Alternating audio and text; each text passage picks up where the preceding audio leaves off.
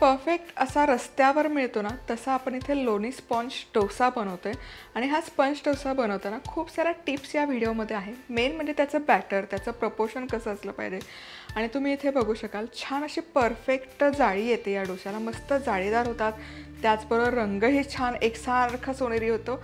आणि एकदम कापसासारखा मौसूत होतो. तुम्ही बघू शकाल जबरदस्त दिसतोय. पटकन रेसिपी सुरू करूयात. नमस्कार मी मधुरा. मधुराज रेसिपी मराठीमध्ये तुम्हा सर्वांचं खूप खूप खूप मनापासून स्वागत. आज आपण perfect street style sponge dosa कसा बनवायचा ते बघणार आहोत. परफेक्ट जाळीदार होणार मौसूत होणार.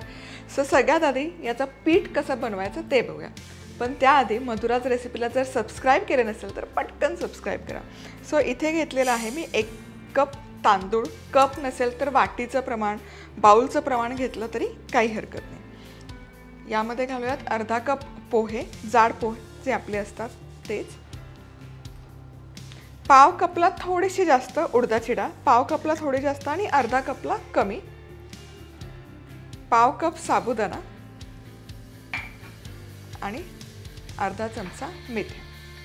त्यामध्ये पाणी घालायचं. सगळं एकत्रच भिजवायचं. वेगळं वेगळं भिजवून घ्यायची अजिबात गरज नाही पाणी घालायचं आणि हे मिश्रण आहे ना छान तीन ते चार वेळा आपण हे स्वच्छ धुवून घेऊया आता हे छान स्वच्छ धुवून झालं की यामध्ये घालायचं पुरेसं पाणी आणि पाण्यामध्ये पाच तास हे सोप करण्यासाठी ठेवून देऊ तर इथे डाळ तांदूळ एकत्र छान भिजलेले आहेत. तुम्ही बघू शकाल हे छान फुललेलं आहेत जिन्नस.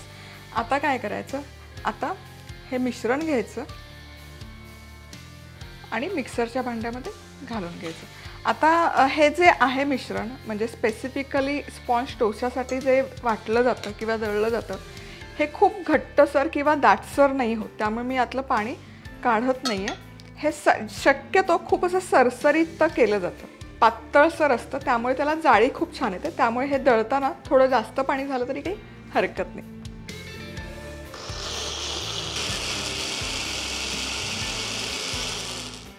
आता हे स्पॉन्ज डोशासाठी जे आपण मिश्रण दळून घेतो हे कायम आहे ना एकदम फाईन दळलं गेलं पाहिजे. म्हणजे जनरली इडलीसाठी जे आपण दळतो पीठ ते बऱ्याचदा ना रवाळ असतं. सो डोशासाठी जे करतो स्पेसिफिकली स्पॉन्ज डोसा सो त्यासाठी असं हे एकदम फाईन दळलं गेलं पाहिजे.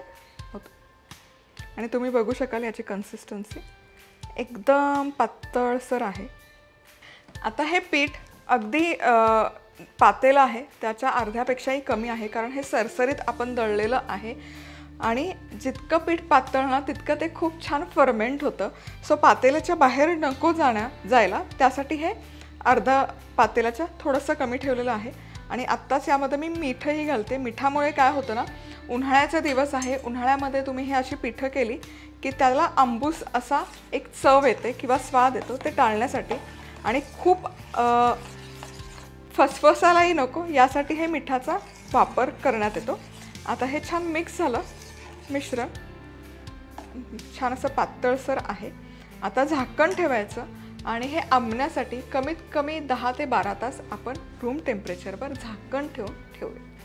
लोणी स्पॉन्ज डोसा बनवण्यासाठीचं जे आपण पीठ तयार करून घेतलं होतं हे पीठ इथे तयार आहे छान मुरलेलं आहे. अर्धा पातेल्याच्या कमी आपण प्रमाणामध्ये हे पीठ ठेवलं होतं आणि ते तुम्ही बघू शकाल. छान फर्मेंट झालेलं आहे. आणि याची कन्सिस्टन्सी बघा. जसं मी सांगितलं की हा जो डोसा करतो स्पॉन्ज डोसा त्यासाठी घट्ट दाटसर बॅटरने हे असं फ्लोईंग कन्सिस्टन्सीचं बॅटर आपल्याला तयार करून घ्यायचं आहे. चला आता आपण डोसे बनवूया तवा गरम केलेला आहे. यामध्ये आपण घालूयात बटर आणि हे बटर आहे ना हलकंसं वाईपआउट करते मी. म्हणजे काय होतं ना ते बेसला रंग एकसारखा येतो डोशाच्या आता हे पीठ पुन्हा एकदा छान एकजीव करून घ्यायचं. आणि तव्याच्या मध्यभागी घालून घ्यायचं. परफेक्ट स्प्रेड करायचीही गरज नाही आहे आणि आता तुम्ही बघू शकाल मस्त आपला जाळीदार डोसा बनवून तयार होईल.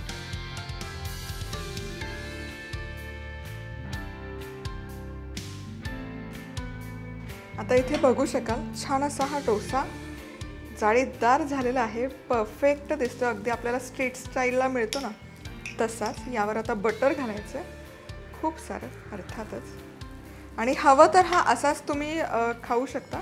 पण एक थोडंसं वा. तुम्ही बघू शकाल मस्त रंग आलेला आहे. इंडक्शन आहे त्यामुळे एजेसपर्यंत तो रंग नाही बसलेला कारण त्याची हीट जितकी आहे तितकाच तो शिजला जातो. लगेच. काढूयात. सो डोसा काढताना आहे ना किंवा कुठलाही असा पराठा आहे शक्यतो असा जाळीवर काढून घ्यायचा. यामुळे काय होतं ना म्हणजे लगेच खाणार नसाल तर असा जाळीवर काढायचा. म्हणजे त्यातली जी वाफ आहे ओलावा आहे ती स्टीम आहे ती रिलीज होते खालच्या वरच्या बाजूने आणि तो सॉगी नाही बनत. सो हे एक महत्त्वाची गोष्ट आहे. पराठा करा नान करा पुरी करा जाळीवर ठेवायची. म्हणजे ते स्टीम रिलीज व्हायला वेळ मिळतो पुढचेही डोसे घालून घेऊया.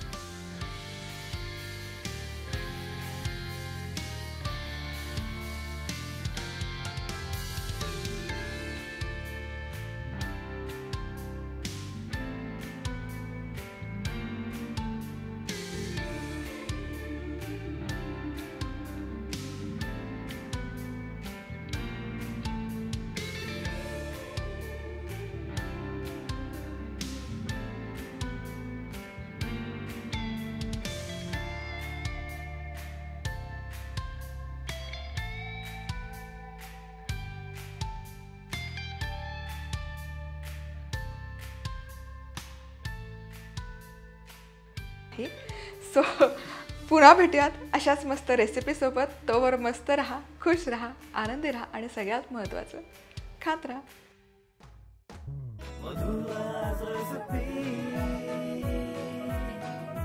मधुराज रेसिपी महाराष्ट्राची अस्सल चव.